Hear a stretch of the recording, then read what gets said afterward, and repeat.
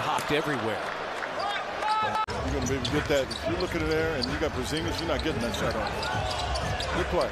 That's the right shot. He just needs to make it. Now You got to go help. You got to go help.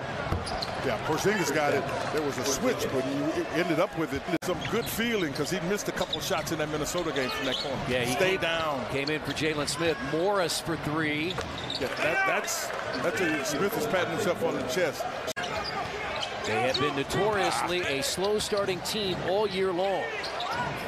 And another three. When you let guys get into the paint, you're going to get.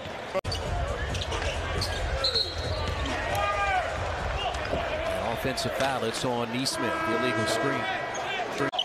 Avdija, hard drive, throws it out. Morris, shot fake. Shot clock at two at one, short. Gafford got the rebound. Yeah, because Goga went out to try to challenge the shot at the foul line. But he's about 7'4", 7'5", and does the same thing with guard skills. That's a holding foul. That's on Morris. Five seconds. Morris.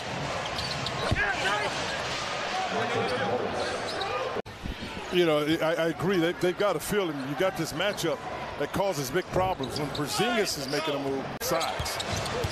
Where they were, they're making it tough. Tough is on one side. You got Kuzma on the other side. You had Porzingis. Give it back to him.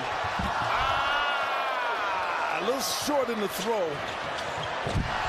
Coming back at you. Yeah, that was a, that was on Mad, uh, uh, And now Hield guarding Porzingis. This in the first half, the Pacers couldn't handle it. If he gets that close and he can put it on the glass, it's pretty hard, pretty somewhat intermittently, so you can.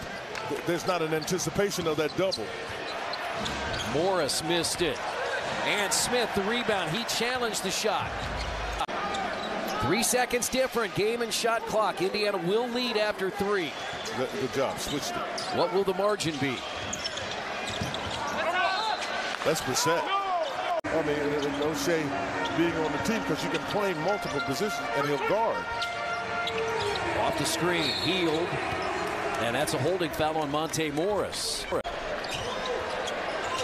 Shot clock at two. Short. And that's a shot clock violation. Good defense here by Hield in the What do corner. they call a foul here?